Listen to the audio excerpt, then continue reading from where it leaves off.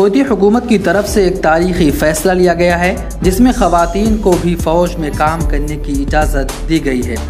कोना के मुताबिक कोयती मुसल्ह अफवाज ने वज़ीर दिफा ने एक ट्वीट करके कहा, अब वक्त आ गया है कि खवतान को भी कोयती फ़ौज में अपने भाइयों के शाना बशाना काम करने की इजाज़त दी जाए। कोयती वज़ीर दिफा ने खवतान की सलाहियतों और मुश्किल हालात में खुद को साबित करने की अहलियत पर भी इतमान का इजहार किया है।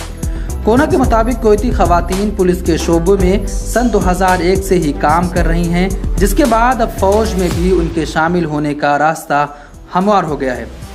कोयती वज़ीर दिफा ने कहा कि मिलिट्री सर्विस में खातन के इंदराज की इजाज़त देने का फैसला, मुल्क की हिफाजत और उसकी सलामती और इसकाम को मज़बूत रखने में फ़ौज की जिम्मेदारियों में खवतान की भी हिस्सेदारी के तहत दी गई है।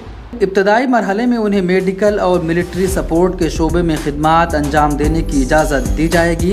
कोयती वज़ीर दिफा ने कहा कि खवतान को फ़ौज में काम करने की इजाज़त दिए जाने से हुकूमती एजेंसियों को किसी भी दाखिली मुश्किल का मुकाबला करने में मदद और ताउन मिलेगा। वहीं दूसरी तरफ़ कोयती खवतान भी मुल्क की फ़ौजी खदमात में अपना ताउन देने में फ़ख्र महसूस करेंगी। कोयती खातून को सन 2015 में वोट डालने का हक दिया गया था और वो काबीना और पार्लिमान दोनों ही जगह काफ़ी सरगर्म हैं। लेकिन हालिया पार्लिमानी इंतबात में खवतान को एक भी सीट पर कामयाबी नहीं मिल सकी।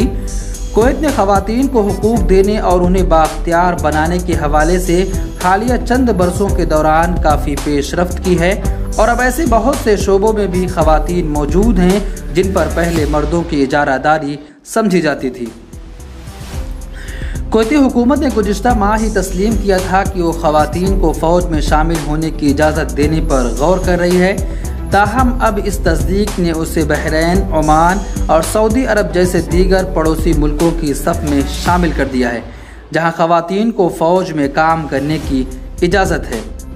कोयत की सरकारी खबर रसा एजेंसी कोना के मुताबिक वज़ीर दिफा शेख हमाद जाबिर सबाह ने कहा कि अब कोयती खातन के लिए भी फौज के दरवाजे खुल गए हैं। मिलत टाइम्स को आपकी ज़रूरत है। हमारी आप माली मदद करें।